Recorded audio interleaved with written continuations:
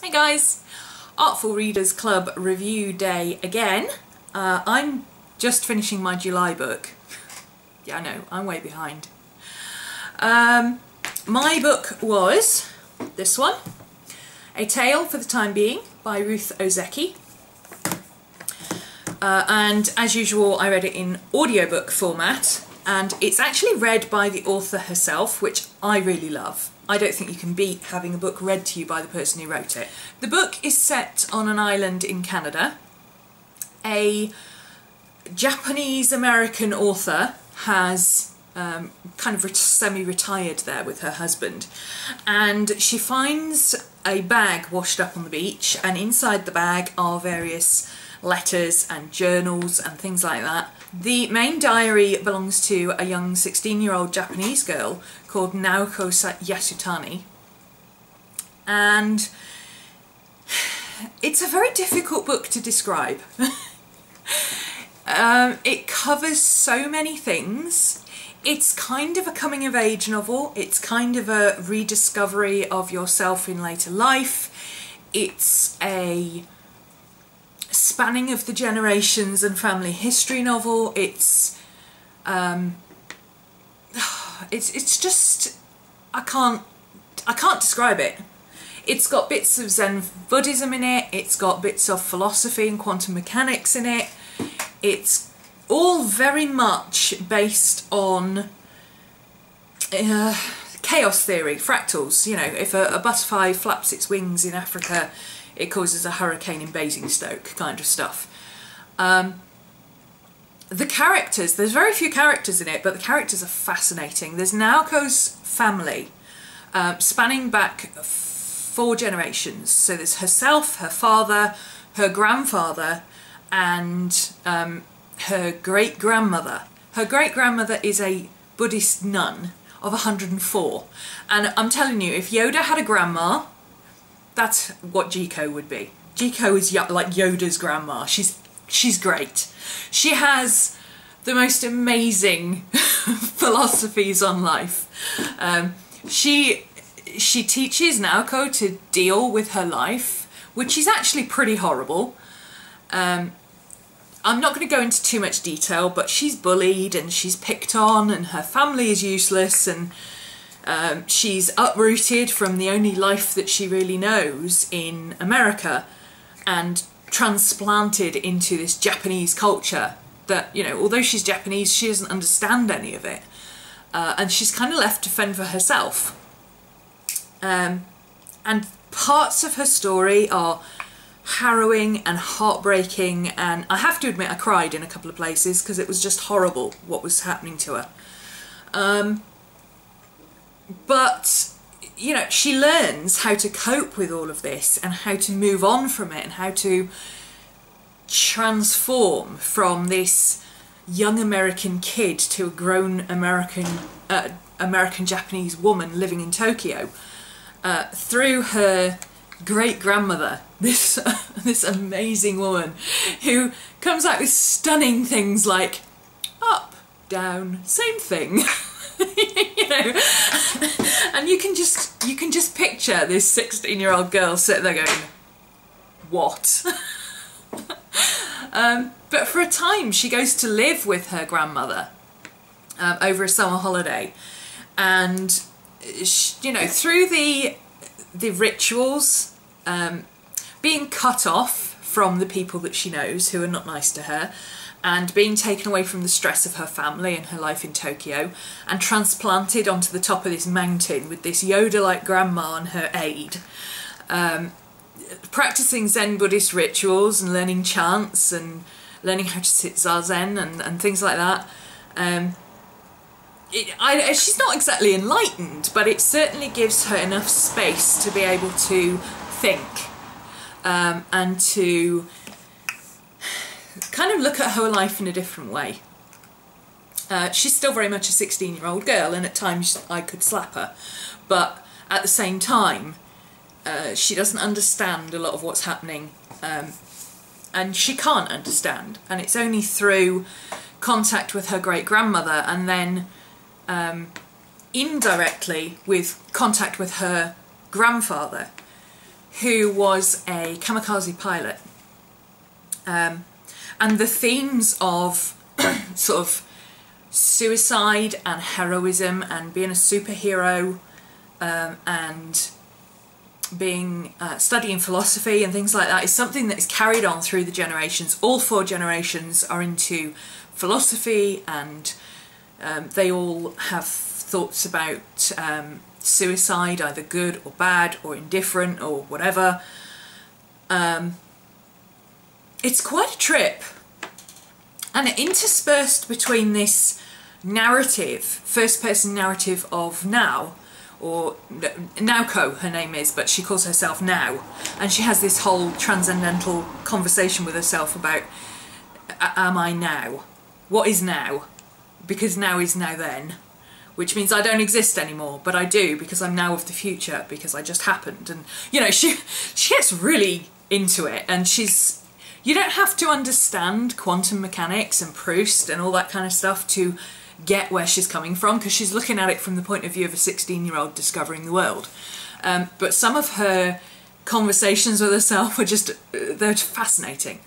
Um, because she's both incredibly logical about it as a child would be, but at the same time she's got this influence of this uh, Yoda-like character in her life, and her father who's extremely depressed, uh, and who she kind of looks down on, um, and this grandfather figure who she looks up to, um, and they keep changing positions.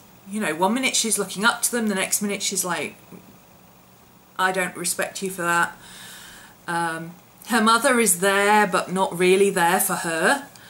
Um, yeah, it's it's a, a, fascinating story, and in between this narrative, you've got uh, the characters of Ruth and Oliver, who Ruth is a retired writer by virtue of the fact that she hasn't really written anything in 10 years.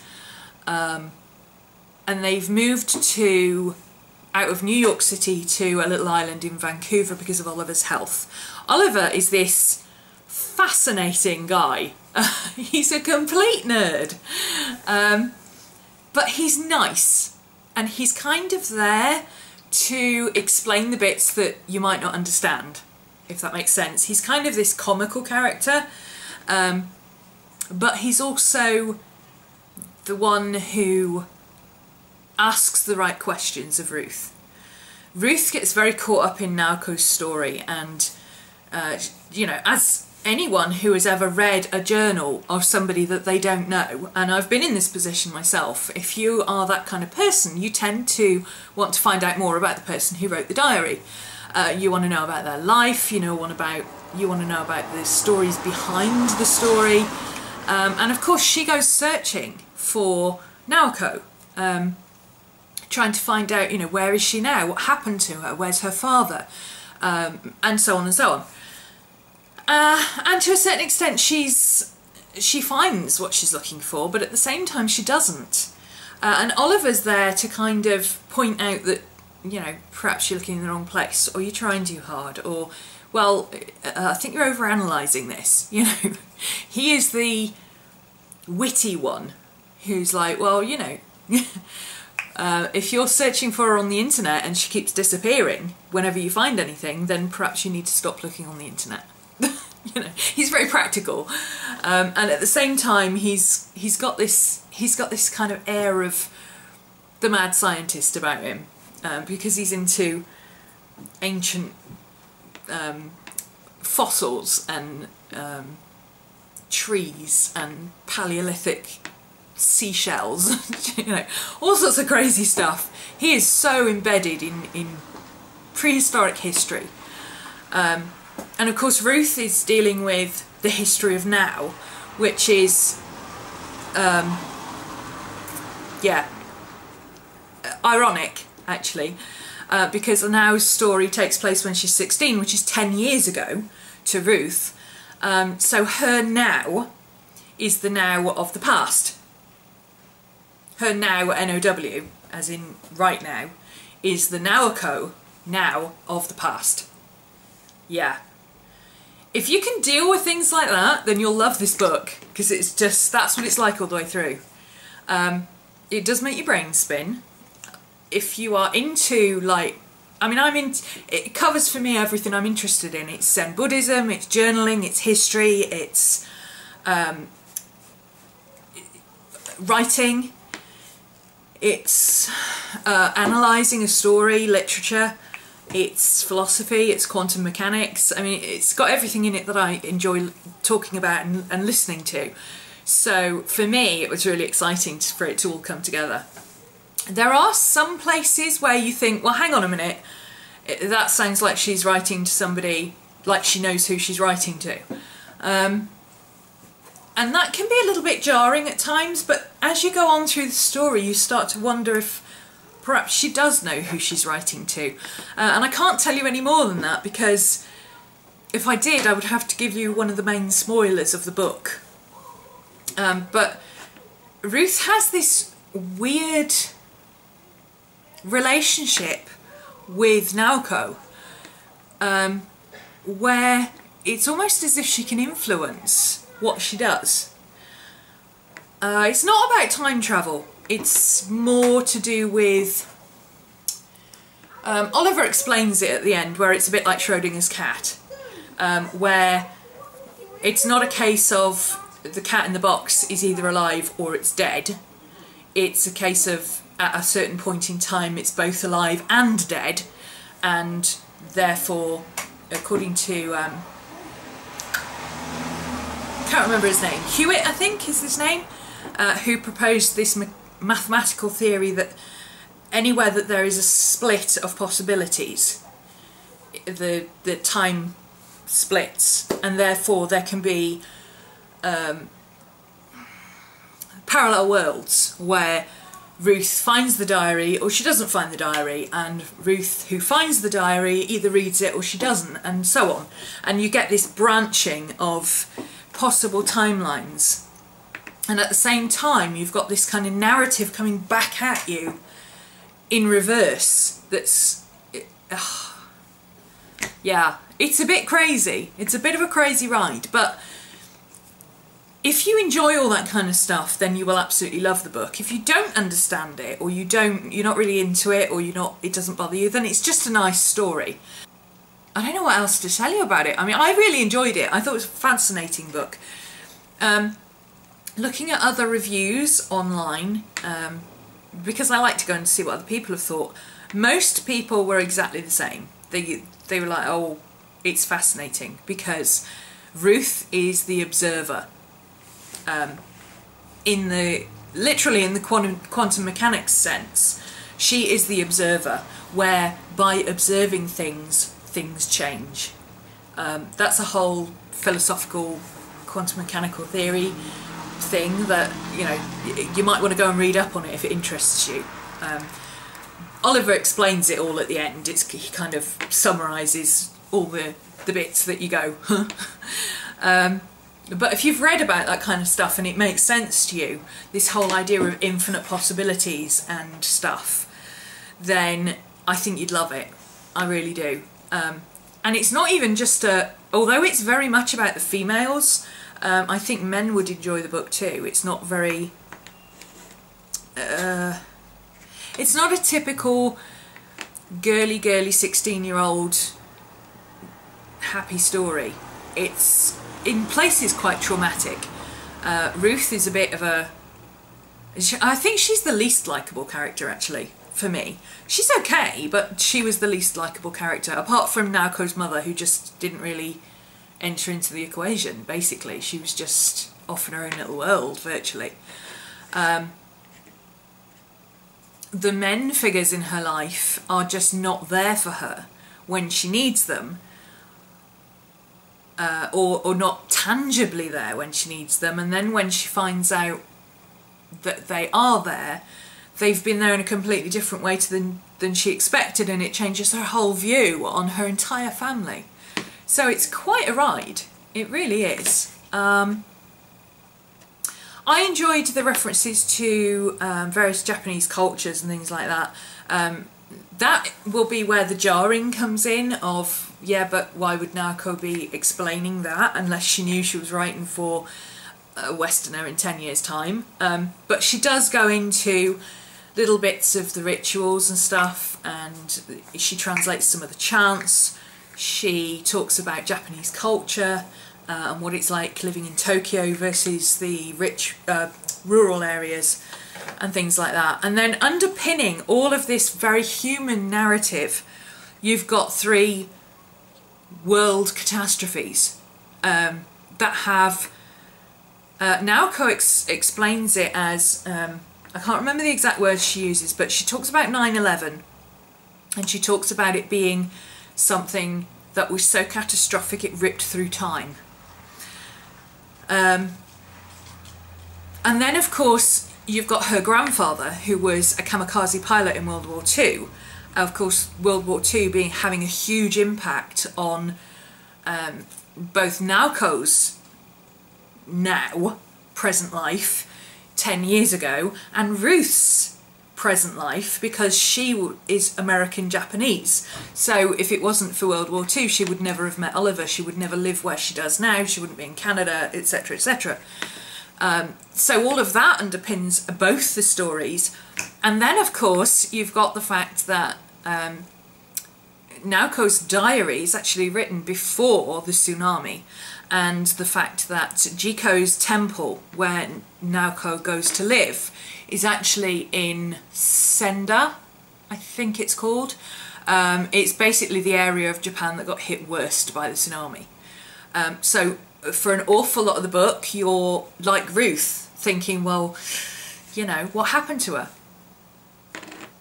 Um, did she die in the tsunami? Did she survive? Did she was she at the temple? Is the temple still there? Um, was she in Tokyo when the earthquake hit? Did she die in the earthquake? Um, did was she perhaps not even in Tokyo at the time? What happened? Where where would she be? Um, you kind of find out where what happened to her and where she ended up, but you don't find out where she is now, if that makes sense which it probably doesn't, but in the context of the book, I think that that is right. You know, there is one of the criticisms of the book in the reviews that I read was, oh, it's got one of these newfangled ambiguous endings, um, which you know. The newfangled ambiguous ending is one of the things that really annoys me about various books that I've read lately. However, for this particular book, it makes sense because there would be an ambiguous ending because it's all based on this whole um, the Zen Buddhist philosophy of rebirth and coming back and reincarnation and all that and you know transformation and achieving enlightenment and so on. And the quantum mechanical theories of yes but everything splits at a point of choices or opposition or you know if there are two possibilities then there or there are three possibilities then there are two splits or three splits so you know did Naoko survive or did she die if she survived is she still in Japan or did she go somewhere else if she went somewhere else where did she go and so on and so on and so on. So there's all these possibilities. So the fact that the ending is ambiguous, I think, is fantastic uh, because it both resolves what happened to her and at the same time leaves you not knowing what happened to her, not knowing where she is now, which kind of is cyclical in her philosophy, her own philosophy, because she doesn't, she starts off her diary telling you she doesn't know what now is, and she's talking about both now as in the present moment and now as in my name is now and I don't know who I am. So it, everything comes full circle uh, and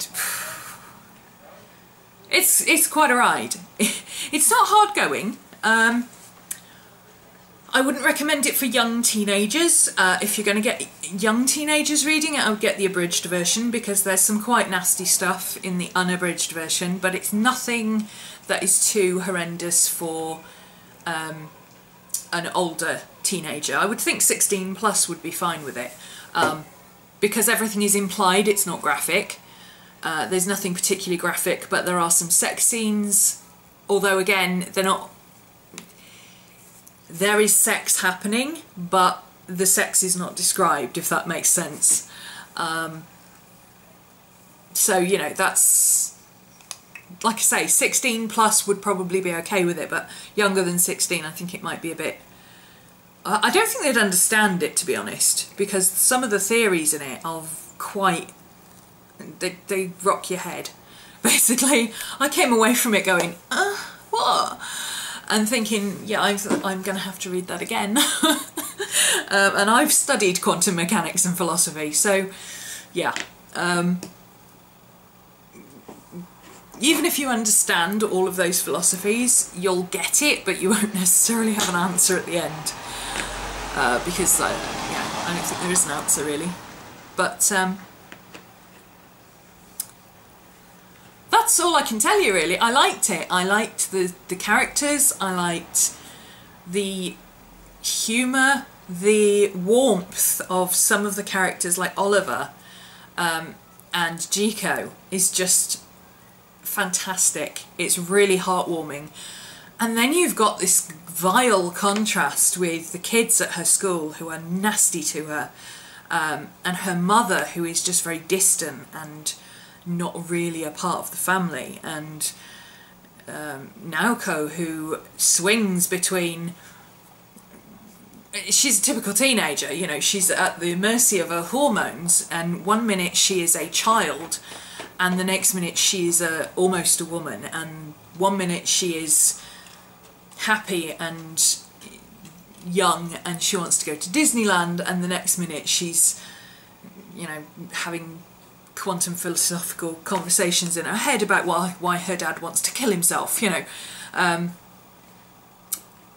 that is something to be aware of. The concepts of um, suicide not so much depression, but just suicide, um, are a running thread through the book. So if you are sensitive to those kind of issues, then you might want to do a little bit more research before you read it. But again, it's not, there's nothing graphic, it's all just, you know, there's this running history in her family of, you know, her her grandfather was a kamikaze pilot, her father's tried to commit suicide multiple times, and the book starts with Naoko telling you that she's decided to kill herself as well. Um, and, you know, Ruth's subsequent discovery of, you know, what, reading right the way through the book at the same pace that Naoko is writing it, to, dis- to live her life uh, as closely as she can and discover what happened to her. it's um, it's intense. It's not like reading. Uh, it's not the kind of book that you just take to the beach and flip through on a weekend. Um, it's hole up for a weekend when it's cold and raining and you've got lots of time to sit and think and go and research stuff. Um, and I, if you're the kind of, if you're kind of like me and you like to take on the role that Ruth has in the book, which is reading the diary and then researching and finding out what happened and trying to understand what's going on, then I strongly suggest you have a pen and paper with you when you're reading because I came out of it with about six pages of notes of things that I was like, oh, I love that quote, or oh, I need to, I need to think about that myself, or um, you know, just all sorts of things that I was like, oh, I want to read that book, you know. Um, the printed version, Ruth Ozeki actually says this at the end of the audiobook that there are the nuances that she can bring to it reading it herself in the audiobook version. However, in the print version, there are lots of um, footnotes and references and sketches and things like that that you can refer to that bring a whole other layer to what Ruth is discovering. Um, which obviously, you know, you can't describe a footnote. um, or you can't describe a drawing in a in an audiobook. So um, I think it's definitely one of those books that you should read it in your preferred format first and then perhaps just go and read the other format afterwards. And Ruth Ozeki herself actually suggests that. I think it's worth reading the version and also hearing it from the author and vice versa. Um, I think I will probably get the book out of the library and go and you know see if there's see what I've missed from not having the print version. Normally I, I draw as I'm listening to the book, but yesterday um, I started sketching this while I was um, reading the second half of the book. Uh, and she just came out like this. I, I have no idea why she came out looking like that, but she kind of does look like Naoko in my head. I mean, she doesn't look like the Naoko that's described in the novel, but the Naoko that was in my head when I was reading it, yeah, she very much does have that kind of Japanese schoolgirl look about her. So, yeah, I was quite pleased with that. I don't know what my book's going to be next month. Um, I was going to read Rivers of London. However, I started listening to the audiobook yesterday and within 10 minutes I was bored stupid. The guy's voice is dreadful. And he's one of those people who, instead of reading a book using the syntax that is in the actual book, he would pause in very strange places uh, you know that sort of thing really annoys me. So you know like literally 10 minutes in I returned it. And so I'm not listening to this rubbish. Um, so I'm going to try and find that book in written form to do another month. Uh, but I have plenty of other books on my phone here um, to listen to an audio. Um, I don't know which one I'm going to go with because I, I, had like I say planned to read Rivers of London this month. Um, but that doesn't seem to be going to happen uh, because it's not available in my local library. I've got to order it from somewhere else. So, yeah, I don't know. Next month's review will be a surprise. Uh, there you go. So, I hope you've enjoyed that. Um, if you read A Tale for Time Being or you've already read it, by all means comment below and tell me what you thought of it. Um, I think it's going to be the one of those books that people either love or hate, uh, and they either get it or they don't. Um, but I think if you get it, then you'll get a lot out of it. And certainly for certainly for anyone who keeps a journal, uh, I think um, Naoko's story on its own is uh, really interesting.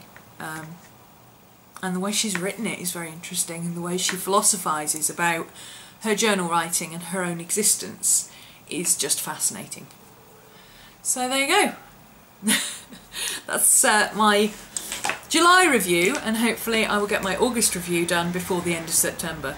Who knows? See you later.